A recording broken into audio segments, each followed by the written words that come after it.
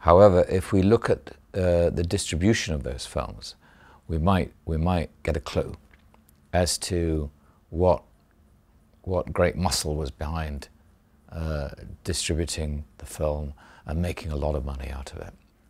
Um, and bravo, but but it it's not really reflective of the context out of which it came.